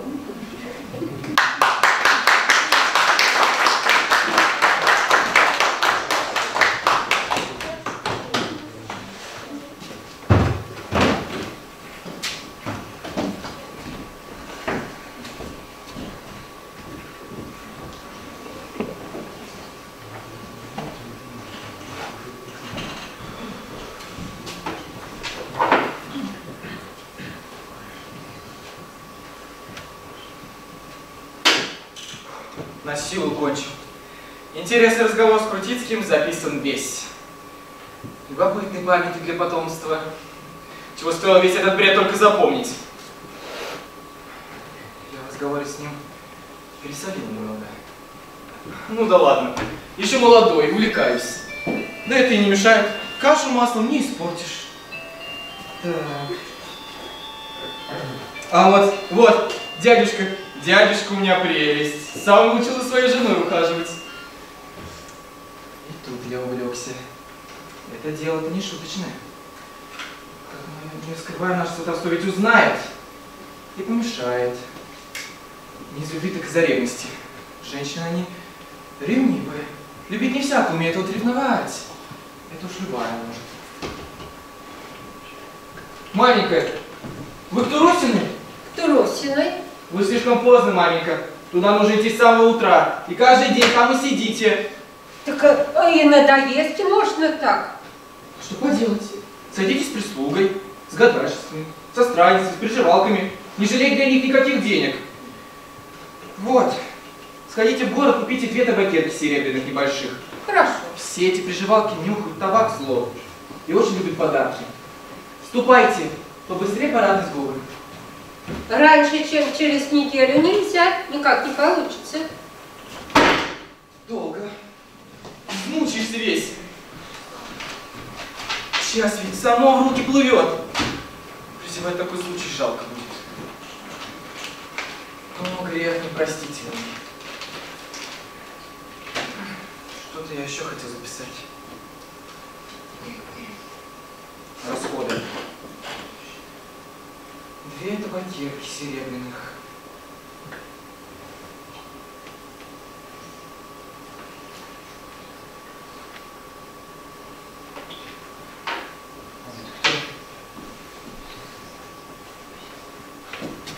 Клеопатра Львовна?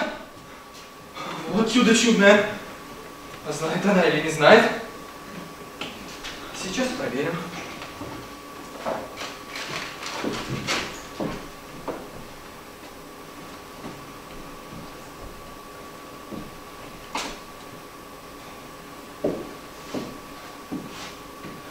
Мог ли я ожидать такого счастья?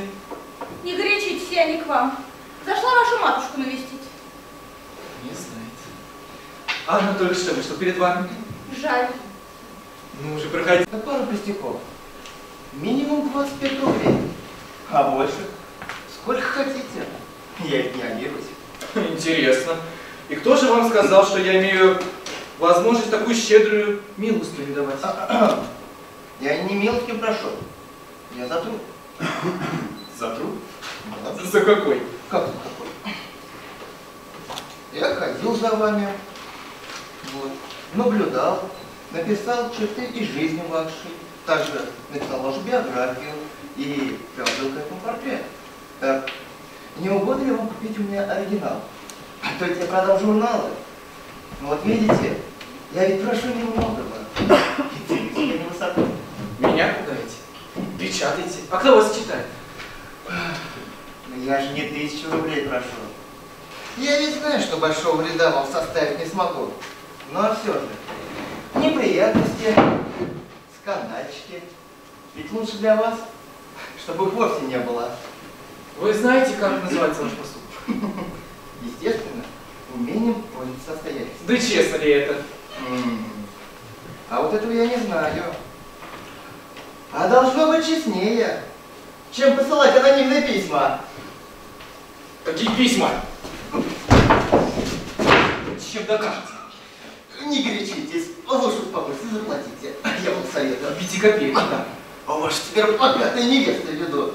Прочитает, ахнет, уж лучше заплатите. Правда, дешево прошу. Да за что платить? Если вы помогитесь, в следующий раз придете. Боже мой, за кого вы меня вообще принимаете? Убирайтесь. Ну ладно. А то в следующем номере я могу... Да в каком хотите? Пять рублей куплю. Деньги на ветер. И пяти копеек не дам. А у вас закурить найдется? Нет! Освободите меня от своего посещения. А что это у вас там такое вот интересненькое? Это что за наглость? Убирайтесь! Мне же интересно. Убирайтесь, я вам говорю. У вас нет чужого благородства, потому что вашего свой нет. Прощайте. Вот принесло-то. Да просто чё. Я всего лишь два слова напечатал, вот и все.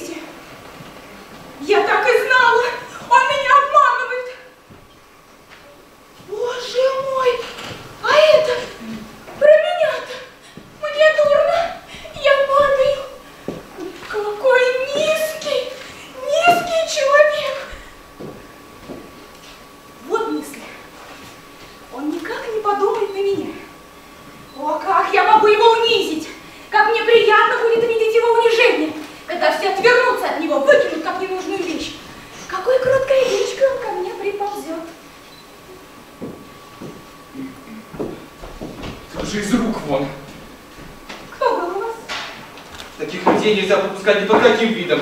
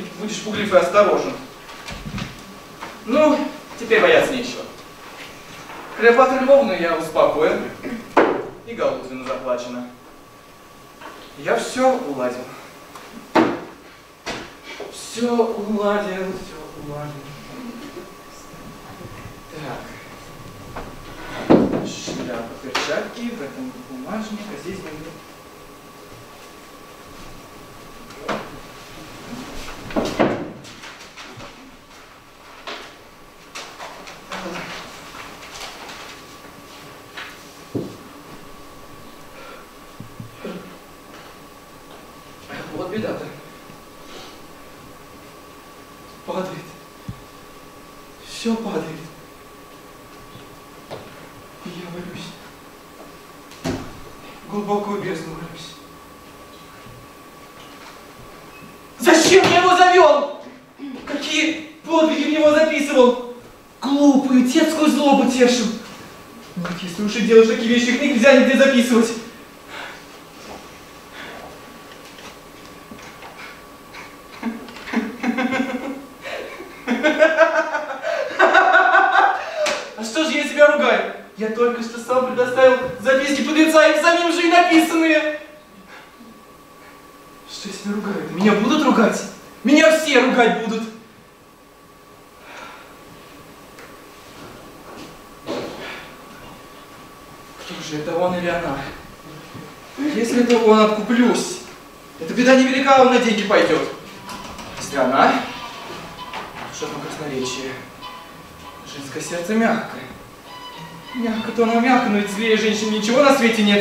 ее чувствительно.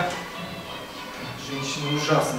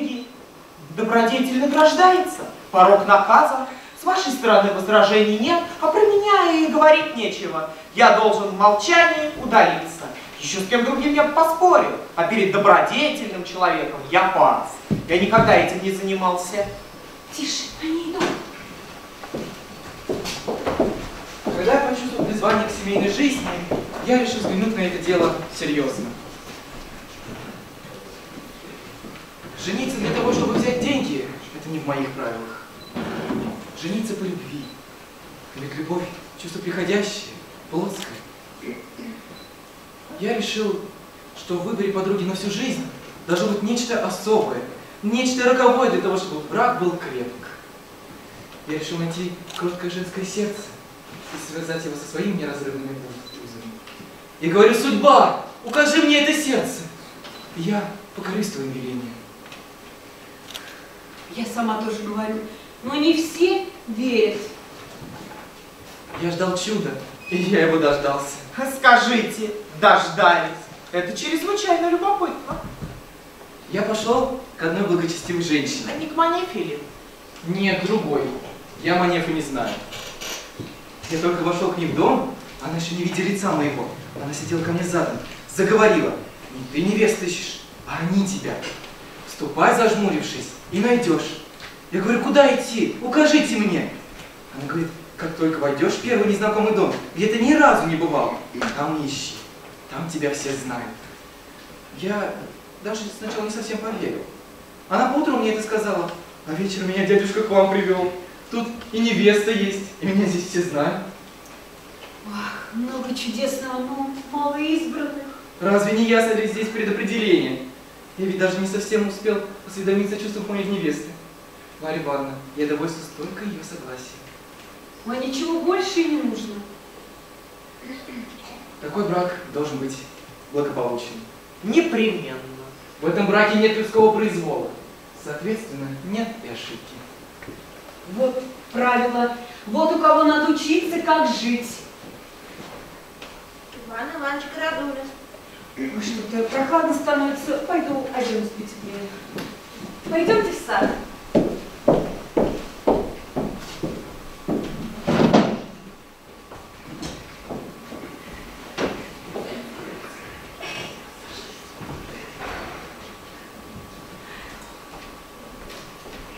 Здравствуйте. Сколько денег берете? Кажется, 200 тысяч. Это как вам удалось?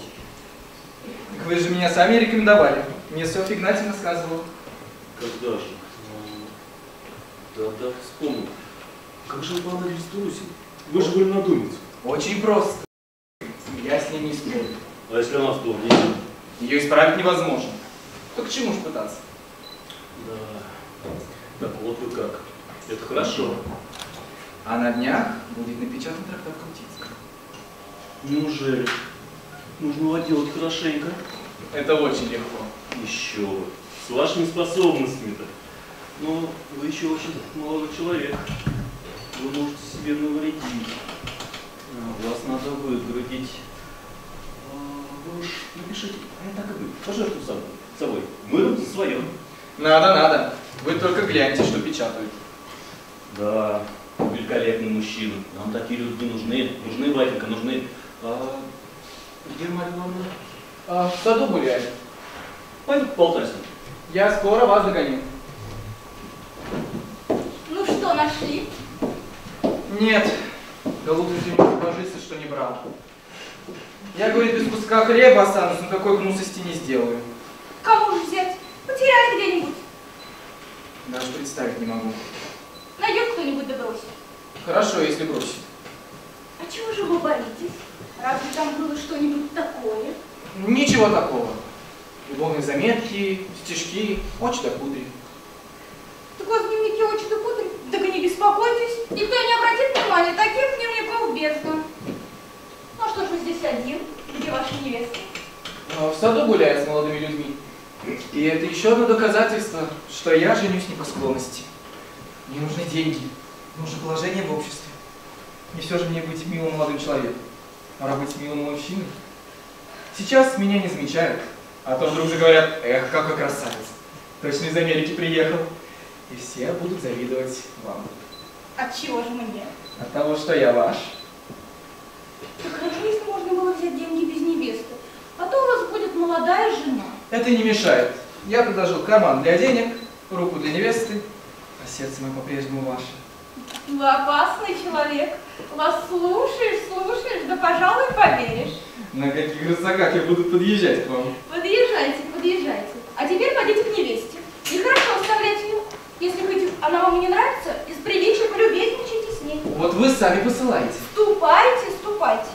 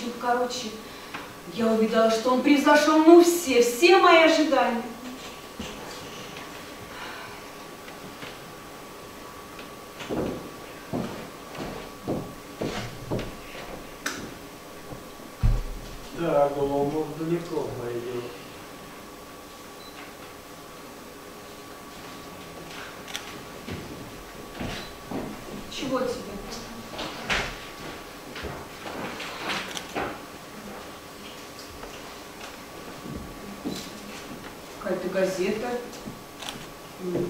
Наверное, это не ко мне. Какая-то ошибка. Да нет, к вам. Вот видите адрес? Очень, очень как-то все это странно. Какая-то газета. И кто же превзошел все ваши ожидания? Ваш племянник. Говорите? Не стал никому его сватать сразу к вам. Вот смотрите, какая-то у нас здесь газета. Может быть, вы разберете. Ну, давайте посмотрю. Давайте. Так. Ну, Что? Вот, это, и- это и не газета, а только лист из газеты. Ну, это не из редакции. Нет. Ха.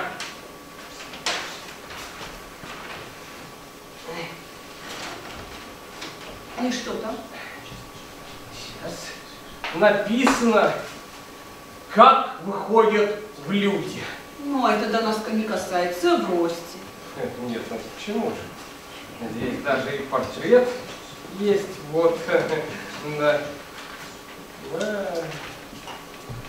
Егор Дмитриевич Колумов. Дайте-ка сюда, это интересно.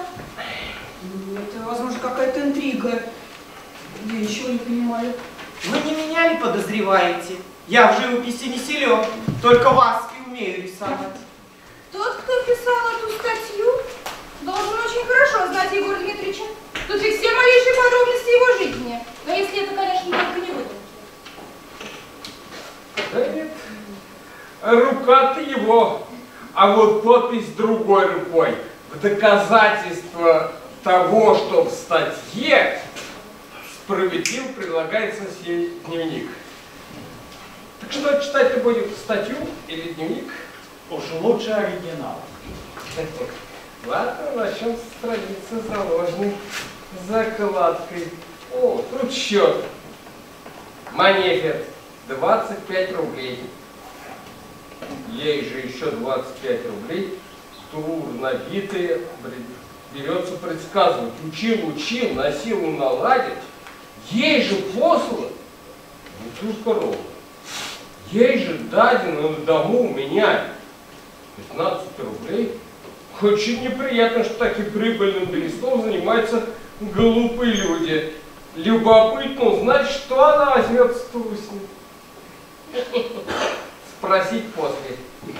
Двум приживалкам Туусиной за гадание на картах и за рассказывание снов, в которых они должны видеть каждый день меня по 7 рублей с полтинной и по серебряной табакерке.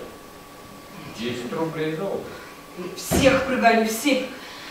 Злой быть грешно, добрый глупо. Как жить на свете? Ой, Я вижу, что это мне и не по уму, и не по силам. Располагай собой как хочешь, я больше тебя трогать не буду. а мой выбор уже сделан, Матан. Ну и прекрасно. В нем ты не ошибешься, потому что он ничего хорошего и не ожидает. Да. А, прикажете продолжить? Конечно. Продолжайте уж чуть. Ну, Человек, человеку Мамаева за то, что привез ко мне своего барина обманом, пользуясь его слабостью, поддающимся в нами квартирам, этому благодетелю мы три, три рубля. Чувствую, что мало. Так, э, ладно, тут дальше разговор со мной, это совсем неинтересно. Ага, вот а, а, первый визит, визит Крутицкому. Муза. Воспоем доблестного мужа и его прожекты. Нельзя довольно любоваться тобой, маститый старец. Поведай нам, поведай миру, как ты ухитрился дожить до 60-летнего возраста, сохранив во всей неприкосновенности ум. Шестилетнего ребенка. Ну довольно. Это Пашка, кому же приятно. Ну что ж, позвольте, тут вот э, несколько слов о Градулине. Градулин в каком-то глупом споре о расистых лошадях одним господином был назван либерал. Он так этому обрадовался, что три дня по Москве ездил и всем рассказывал, что он либерал. Так теперь и числится. А это похоже. Похоже, похоже. Вы про себя почитайте, похоже ли написано. Иван Иван Иванович, похоже. Иван Иванович вас не заметил. Вот почитайте, как нас тут расписали. Тоже современный юнал. Племянник мой. Голумов. Отдайте Иван Иванович эту рукопись автору и попросить, чтобы он удалился незаметно. А от чего же незаметно? Я не объясняться, не оправдываться не стану. Я лишь скажу, господа, что вы скоро пожалеете, что удалили меня из своего общества. Милостивый государь, вы находитесь в обществе честных людей. Да. Да. Да. А вы сами, ваше превосходительство, догадались, что я нечестный человек. Может быть, вы вашим проницательным умом убедились в моей нечестности, когда я взялся за отделку вашего трактата. Потому что какой же разумный человек возьмется за такую работу? Или вы увидали мою нечестность, когда я раболепно унижался в вашем кабинете, восторгался самыми дикими вашими фразами? Нет. Тогда вы были готовы расцеловать меня. И не попадись вам этот несчастный дневник на глаза, вы бы долго, долго всегда считали меня честным человеком. Да. А вы, дядюшка, тоже сами догадались, а? Не так далее, как вы учили меня льстить Крутицкому. Не так далее, как вы учили меня ухаживать за вашей женой, чтобы отвлечь ее от других поклонников. А я же манился, да, и отнекивался, что не желаю, что не совестно. Нет. Вам, я притворялся, вам было приятно, потому что я давал простор учить меня уму-разуму. Я давно умнее вас, и вы это знаете. А когда я прикинусь дурачком и буду просить у вас разных советов, вы рады радехоньки и готовы клясться, что я честный человек. Ну а что здесь говорить? Мы все-таки свои люди. Вас, Софья Игнатьевна, я обманул. И перед вами я виноват. Ну, даже не перед вами, а перед Марьей Ивановной. Вас обмануть не жаль. Вы берете с улицы какую-то полупьяную крестьянку, вы ее, к слову честно, выбираете мужа для своей племянницы? Кого знает ваша манера? Кого она может назвать? Разумеется, того, кто ей больше денег даст. Хорошо, что я еще попался. Иначе она могла вам сослать какого-нибудь беглого, и вы бы отдали, что и бывало. Я знаю точно, что на земле правды нет, и с каждым днем все в этом убеждаюсь больше и больше. Ну а вы, Иван Иванович? Я и что? Вы приличнейший мужчина, вот вам моя да? То, что вы говорили про нас, ну, то есть про меня, совершенная правда. Я вам нужен, господа. Без такого человека, как я, вам нельзя жить. Не я, так другой будет. Будет и хуже, чем я. И тогда вы скажете, эх, этот еще хуже Глумова. А все-таки славный малый. Ведь честному человеку вы откажете в протекции. А за кого поскачете, сломая голову? Вы слишком злоупотребляете нашей снисходительностью. Извините, ваше превосходительство. Послушайте, если вы не понимаете, я могу вам просто объяснить. Понимаю. Понимаю. И вам, Иван Иванович, я нужен. И умных фраз позаимствованных для спича. И умных фраз для спича. И критику вместе написать. И критику вместе написать. И вам, кстати, тетушка, тоже нужен. А я и не спорю, и не виню вас ни в чем. А я сразу в нем заметил. Ну да, мне тоже показалось, что у него в глазах есть что-то такое. Ничего вы не заметили. Вас возмутил мой дневник. Как он попал в руки, я не знаю. На всякого мудреца довольно простоты. Но я лишь скажу одно. Пока я был между вами в вашем честном обществе, я только тогда и был честен, когда писал этот дневник. А чему вы, собственно, обиделись в нем? Вы что-то новое для себя узнали? Вы говорите то же самое друг про друга, только не в глаза. Если бы я вам, скажем, по отдельности прочитал, что про других написано, да вы бы мне стоя аплодировали. Единственный, кто может сейчас сердиться, беситься, выходить из себя, так это я. Не знаю, кто вы, кто из вас украл мой дневник. Вы у меня разбили все. Отняли деньги, отняли репутацию. Вы гоните меня и думаете, что это все. Этим дело и кончится. Вы думаете, я вам прощу, господа? Нет. Горько вам достанется. Прощайте!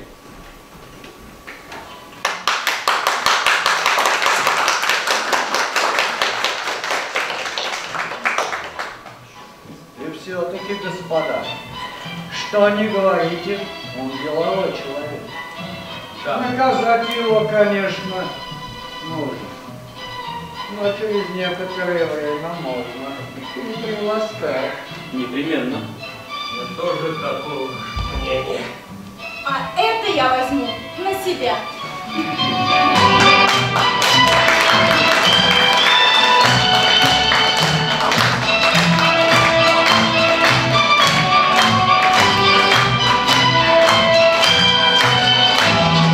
Народный театр «Дилижанс» Кульбаки. Режиссер Мария Федотова.